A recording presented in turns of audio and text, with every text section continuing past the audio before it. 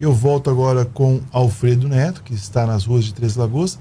Infelizmente, infelizmente, para trazer essa informação dessa jovem de 28 anos, mais uma vítima desta rodovia que já é considerada, principalmente no trecho Três Lagoas Campo Grande, a rodovia da morte. Alfredo Neto, bom dia novamente. Olá, bom dia Israel. Final da manhã de ontem, uma empresa Três Lagoense que presta serviço para Suzano, fábrica de papel e celulose em Ribas do Rio Pardo e está também construindo várias casas lá naquela cidade para poder serem aí vendidas essa incorporadora que contém aí pedreiros, engenheiros e também técnicos de seguranças acabou tendo aí essa baixa, essa perda trágica no final da manhã de ontem. A técnica de segurança Tatiane Martins Lima, de 28 anos, acabou morrendo após o companheiro de trabalho, um homem de 66 anos que dirigia o carro da empresa, fazer uma conversão à esquerda na rodovia BR-262 sem se atentar para a distância da carreta que vinha à frente. Não conseguindo frear a tempo porque estava muito em cima, o motorista da carreta acabou colidindo contra a lateral do gol, aonde Tatiana estava no banco do passageiro e acabou sendo violentamente atingida por esse caminhão. O carro foi empurrado por alguns metros, parando na lateral da via, próximo a um retorno. Tatiane morreu no local, presa às ferragens, e o motorista do carro, colega de serviço dela, um homem de 66 anos, foi levado em estado gravíssimo para o Hospital Municipal de Ribas do Rio Pardo e posteriormente para Campo Grande, já que lá ele estava aguardando por vaga zero na Santa Casa da capital. A Polícia Rodoviária Federal foi ao local, controlou o tráfego, a Polícia Civil foi também acompanhar aí o trabalho da perícia. Em conversa com o motorista da carreta, os mesmos foram informados que a carreta fazia o trecho Três Lagoas Campo Grande e o carro sentido contrário. O carro teria tentado fazer uma conversão na frente da carreta, acreditando que daria tempo, mas infelizmente o motorista do carro não conseguiu sair a tempo da frente da carreta. O motorista da carreta, veículo esse que estava ali com a carga, pesando aproximadamente 70 mil quilos, não conseguiu frear a tempo. A colisão aconteceu, o carro acabou sendo atingido na lateral direita e a vítima, Tatiane, acabou falecendo. Tatiane residia em Ribas do Rio Pardo, era técnica de segurança dessa empresa e o motorista do carro que não teve identidade revelada seria treslagoense e agora segue em estado gravíssimo no hospital em Campo Grande. Não tivemos ainda uma nota emitida por essa empresa e logo a Suzano lamentou a perda desses colaboradores que seriam de uma terceira que presta serviço na área de reparo, conservação e também de construção, uma incorporadora. Esses colaboradores estavam lotados ali, aonde está sendo feito um loteamento que vai servir para funcionários da Suzano e também para a venda externa.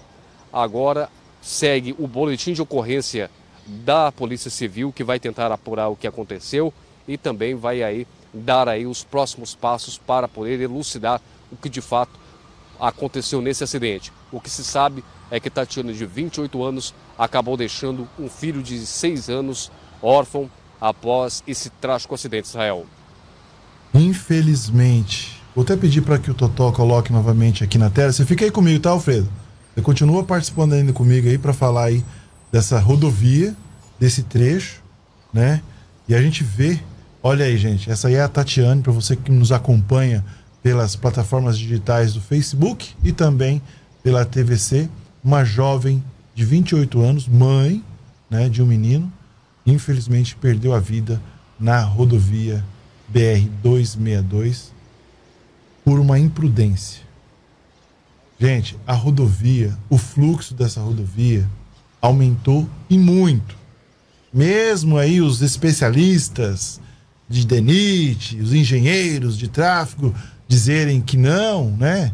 Mas quem transita diariamente por essa rodovia sabe quanto aumentou o fluxo dessa rodovia. Para o senhor ter ideia, Totó e Alfredo, eu vou visitar minha sogra que mora na capital paulista, eu levo seis horas de carro. Marechal Rondon, Castelo Branco, até chegar na capital. Quando eu quero visitar a minha mãe que mora na capital, Campo Grande, são quatro horas Nossa. de viagem na rodovia BR-262. Veja só, faça esse paralelo, você tem uma ideia, o tanto que se perde de tempo em uma rodovia. Ou seja, porque você tem que andar com cuidado, o seu cuidado e cuidado pelos outros, e o fluxo de caminhão é intenso. Nós vimos, inclusive, faixas, né, essas, essas cartazes na, atrás dessas carretas bitrem, proibido o, é, andar um atrás do outro. Mas não tem jeito. Tem hora que você pega um, um três, quatro, cinco caminhões. Verdade. Não tem como. O fluxo é muito. Alfredo Neto.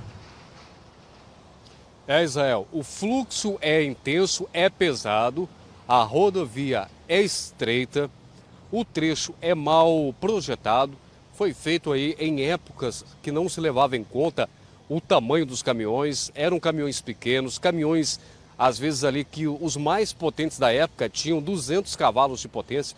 Hoje os caminhões têm até 670 cavalos, tem até caminhão de 750 cavalos. O pessoal joga aí às vezes em alguns caminhões 80 toneladas o peso combinado bruto entre a carga e a carreta. Então a gente tem alguns pontos aonde a descida é íngreme, a subida é longa. Caminhões que para subir vencer esses lances colocam aí 10 km por hora porque não consegue desenvolver uma velocidade superior a essa. Veículos longos que chegam até 30 metros de comprimentos e vários carros que tentam fazer ultrapassagens outros caminhões que não têm muita limitação de velocidade acabam forçando ultrapassagem para cumprir o horário ou para não perder tempo atrás de outro caminhão mais lento.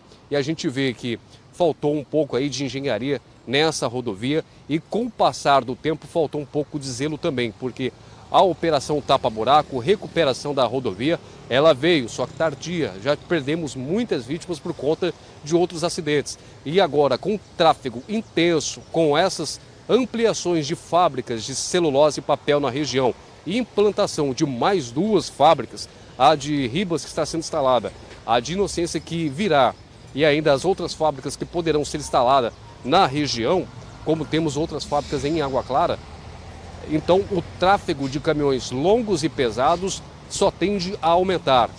Infelizmente, era uma rodovia que precisaria ter tido mais, no passado recente, uma atenção prévia, ter sido feito um estudo, ter sido feito um remanejamento ali do tráfego, uma reordenação do trânsito, porque o tráfego é intenso, é pesado. Ali, em sua suma, são veículos grandes e pesados. Infelizmente, os carros pequenos vão ter que se adaptar com esses veículos e os motoristas, é claro, vão ter que adquirir aí uma certa perícia para poder andar nessa rodovia, porque aqueles que estão com caminhão dificilmente vão esperar um momento propício para fazer ultrapassagem. É mais fácil alguns motoristas irresponsáveis jogar numa faixa contínua para tentar uma ultrapassagem do que esperar um tempo melhor.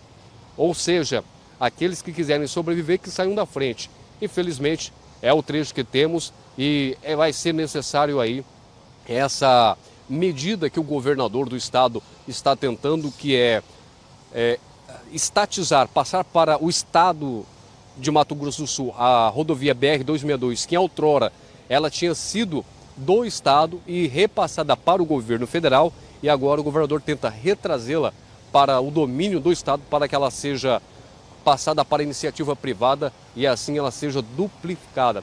O que seja que algumas vezes com o governo federal tentou, não conseguiu sucesso na tentativa de privatizar essa rodovia e agora a gente vê se a gente vai tentar aí ver se o governo do estado consegue resolver essa situação e passando para o domínio do governo estadual, ver se ele consegue passar para a iniciativa privada e assim conseguir fazer essa rodovia ser dupli duplificada.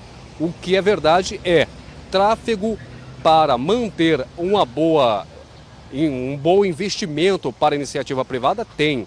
As carretas são enormes, algumas até com nove eixos, então são bastante veículos com rodas para dar dinheiro para a iniciativa privada. O que está faltando mesmo é um bom estudo e boa vontade para poder fazer isso, já que o tráfego, até que seja feito essa privatização ou duplicação dessa rodovia vai demorar muitos anos e até lá a gente ainda vai acabar noticiando várias ocorrências como essa, Israel. Infelizmente, não temos como fugir dessa realidade.